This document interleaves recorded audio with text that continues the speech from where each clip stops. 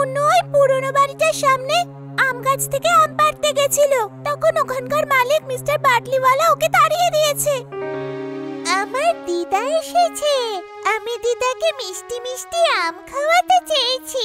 কিন্তু ওই আঙ্কেল বলেছে এই ট্রি আমার। ওই বাড়িটাতে তো কেউ থাকতো না। তাহলে মিস্টার বাটলিওয়ালা কি করে এলেন? উনি কিছুদিন হলো এসেছেন। ওই বাড়িটা উনি কিনে নিয়েছেন। কিন্তু ওই গাছটা তো বাড়িটার বাইরে। ওটা মিস্টার বাটলিওয়ালার কি করে হতে পারে? আমি শুনেছি মিস্টার বাটলিওয়ালা এখন কোনো বাচ্চাকে ওখানে যেতেই দেয় না। জিন্টু এখন ওই গাছ থেকে মুন্নুর ঠাকুমাকে আম খাওয়ানোর কাজটা তুমিই করতে পারো। এই নাও। আরে এটা কি হলো? গাছটা কোথায় চলে গেল? জিন্টু আমরা এরকম জাদু করতে পারব না। তাড়াতাড়ি গাছটাকে ফেরত পাঠাও। সবাই দেখে ফেললে কি উত্তর দেব? হ্যাঁ? মনে হচ্ছে আমি স্বপ্ন দেখছিলাম। গাছ তো এখানেই আছে।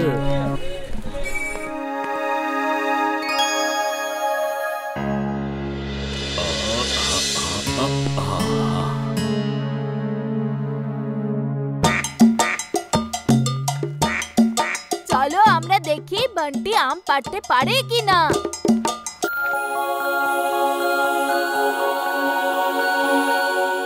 বাহ বাহ বাহ।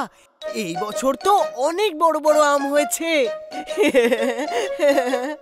এই ব্যারিকেডটা কে দিয়েছে? এবার তো গাছটা বাংলোর ভিতরে হয়ে গেছে। হ্যাঁ এই গাছটা তো বাংলোর বাইরে ছিল। এই গাছটা আমি তৈরি করেছি। এই গাছটা আমার। আর তোমরা যদি এক্ষুনি না চলে যাও তাহলে বাটারফ্লাইকে তোমাদের ওপর ছেড়ে দেব বুঝতে পেরেছ? এই গাছ আমাদের। আমরা প্রত্যেক বছর এই গাছের আম খাই। আমরা কোনো বাটারফ্লাইকে ভয় পাই না। বাটারফ্লাই এর ভয় দেখাচ্ছে। বাটারফ্লাইকে তো আমি এক হাত দিয়ে চিপে দেব। Butter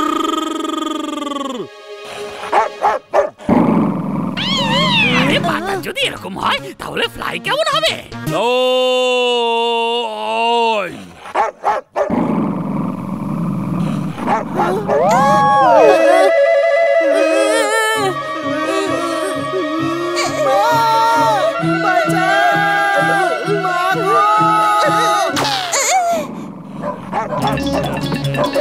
Bye.